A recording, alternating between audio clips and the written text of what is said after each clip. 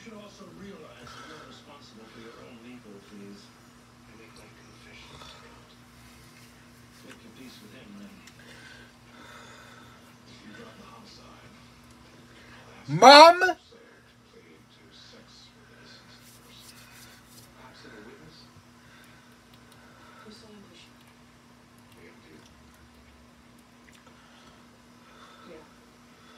Thank you.